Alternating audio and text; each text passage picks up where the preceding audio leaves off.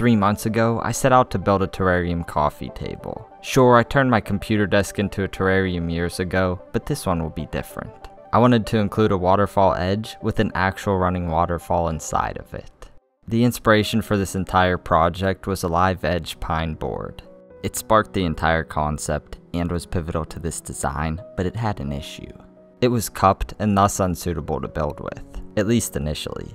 The edges were also full of undesirable debris. A wire brush took care of that with ease. My design consists of two parallel slabs with their live edges in the middle. I ripped the board down the center to account for that. This cut, however, wasn't square.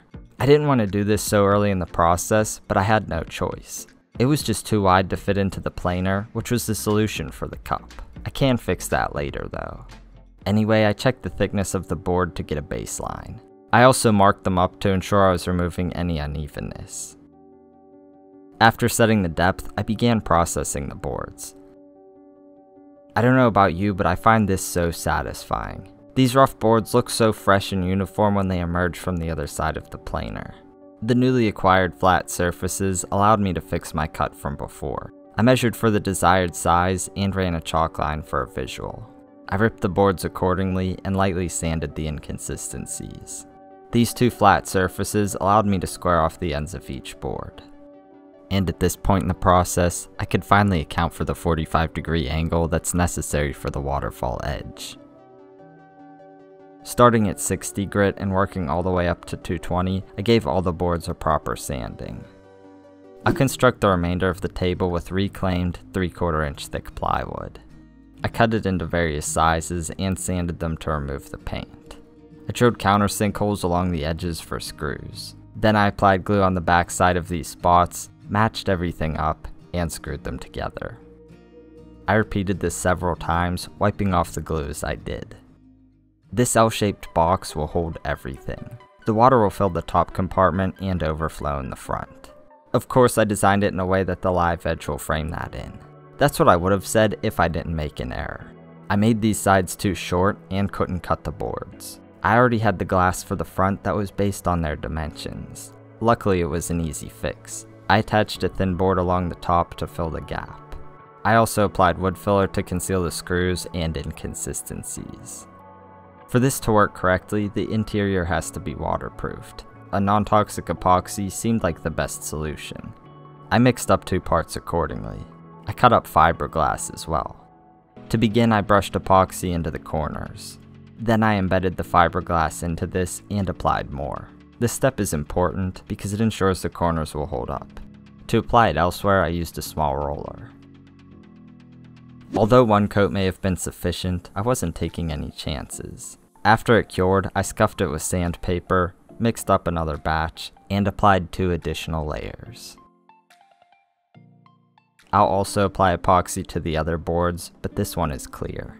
I mixed up a test batch to see how even I could get it. I liked the result, so I continued on the actual boards. I quickly passed a heat gun over this to remove air bubbles while it was still wet. I was pleased with the result, but I only applied it to the underside of the boards. There were drips and other things I had to sand off before continuing. Now prior to attaching them to the plywood, I stuck a piece of veneer to the edge of the top. This spot will be visible on the finished product, and having wood grain here will look much cleaner. I don't want any fasteners to be visible on these boards. To avoid such a thing, I created pocket holes in all of the appropriate areas. Even though the boards are sealed, I applied a bead of silicone in between the seams. This will create a gasket that will protect the wood on the exterior from moisture. I clamped the boards together and locked them in with screws. I also fastened them to the underside of the bottom. Once the silicone cured, I sanded the edges to ensure everything was uniform. Unfortunately, I also had to fill a gap on the waterfall edge. I cut up common boards at an angle that aligned perfectly to the sides of the table. Again, I don't want any visible fasteners. Wood glue and clamps were the obvious solution. However, as I was doing this, I realized I didn't account for something crucial, an access port for the pump's cord. The only spot that made sense was on the back here. Luckily, I came up with a great solution. I cut a board into three sections and glued the ends to the table. The middle piece will instead be removable. I shaved a little off the top for proper alignment and ensured the grain remained consistent across each piece. However, I still need a way for the pump's cord to exit the table seamlessly. I measured for the overflow height and marked for that on the back. I used that for reference as I drilled this hole, which has to be far above the water line. Neodymium magnets are the best solution I could think of to hold this board with ease. I simply used a guide to create holes for them on both surfaces. I also put dots on the ends as a reference for their polarity. I still have to account for the cord on the board though. You'll never see this, so I sloppily made a trench for it to run through with a drill and chisel. It's not pretty, but it hides everything while giving full access to the pump. Now I can finally finish the exterior. I secured the door from the inside with screws to consistently sand it with the other surfaces. You'll see that I ended up with gaps along the edges as well. Rather than use wood filler or something of that nature, I filled them with wood glue. The glue binds with the wood dust as I sand, creating a seamless appearance. As I did this, I also accounted for the opening on the back. I removed the corners to align them with the live edges. Even though I hate sanding, I took the extra time to create a smooth and uniform surface. I had to account for the legs too. Originally I intended to make wooden ones, but I found these unexpectedly. I knew they'd look great. However, they're not tall enough. I measured for how tall they need to be, and planed a board to account for the difference. I'll actually attach all of this together later on though. Before sealing the outside, I patched the holes from the screws I used to hold the door. I also secured the magnets with hot glue. I imagined this piece being glossy from the beginning. Epoxy was the apparent solution, especially with how beautiful the underside of the live edge looked. I took my time and applied three coats to every surface. I made sure to encase the magnets as I did. However, other than the magnets, this all failed. There were expected inconsistencies on the whole thing, like drips and streaks. Sanding and buffing easily fixes this, but only if you apply enough epoxy. Within no time, I sanded down to the wood. I knew it would be nearly impossible to get the finish I wanted at this rate. I had no choice but to remove the epoxy and use something else. Did I mention that I hate sanding? It took nearly 5 hours of continuous sanding to reset the canvas. My hands were shaking and my face hurt from the respirator, but I had to keep going. This time, I decided to use lacquer on the exterior. It dries much faster than epoxy, is waterproof, and will provide a comparable finish. Now I know for next time, only use epoxy on the inside. Anyway, I applied 7 coats of lacquer. Sure, I was annoyed doing this, but I actually prefer it over the epoxy.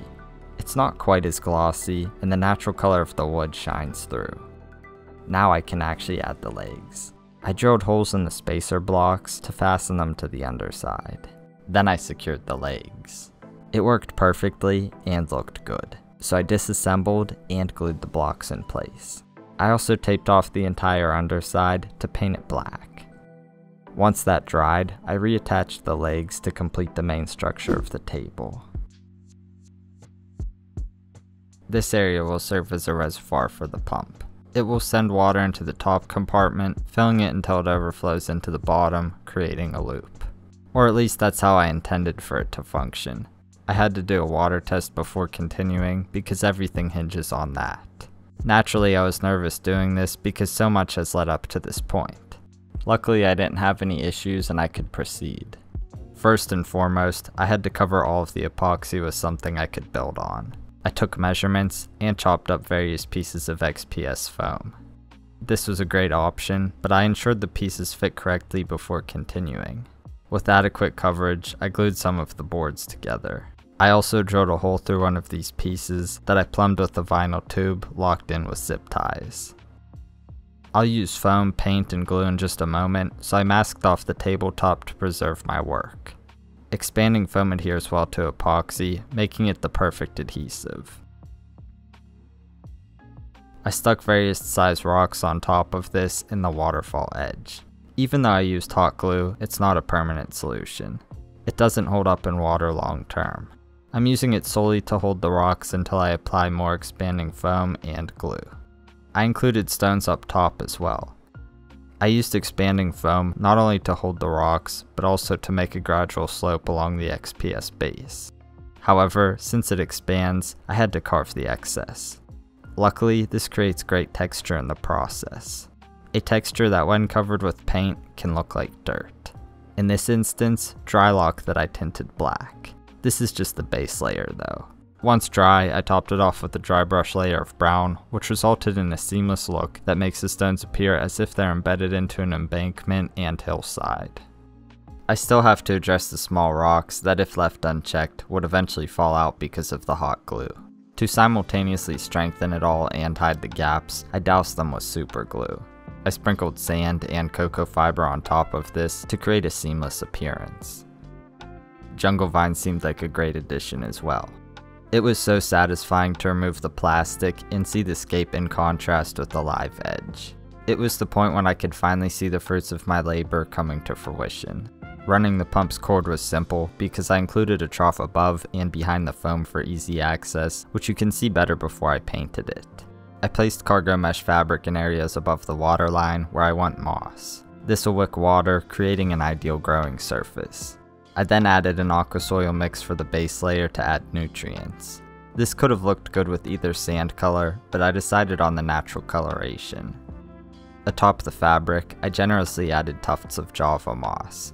A proper build is never complete without moss. The details matter as well. Various sized stones sprinkled atop the sand created more texture and interest within the stream. Anubias added to this as well. However, it was at this point that I realized I should probably get the waterfalls running so I could properly assess where to put the plants. The waterfalls were a sight to see for sure, but they were splashing everywhere. Strategically placing moss within the flow took care of this issue with ease.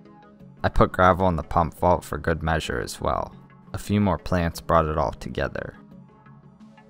To finish it off, I installed the glass. I secured the waterfall edge with retaining clips, and the top simply dropped in.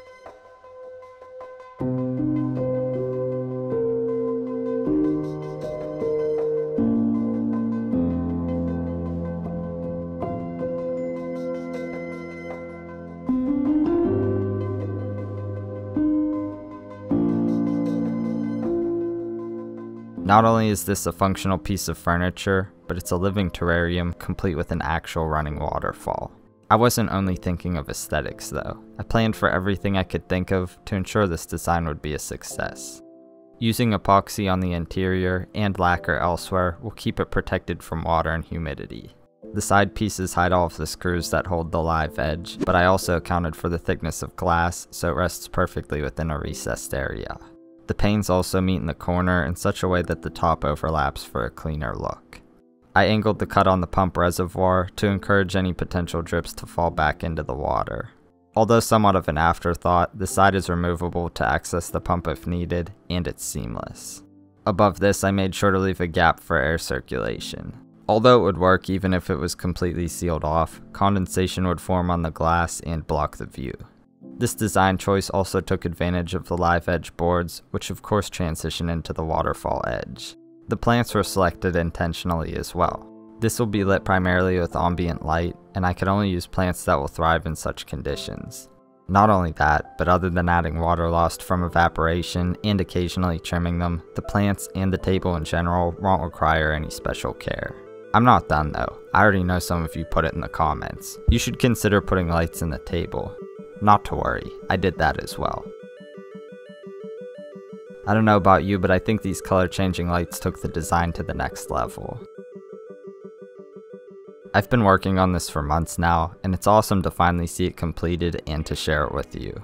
From start to finish it was a logistical nightmare, but I think it was worth the effort. I can't think of much else that would add this level of functional ambience to my office and hangout space. This channel and the content are dedicated to creating beautiful and functional pieces of nature art. Designs that are actually intended to work.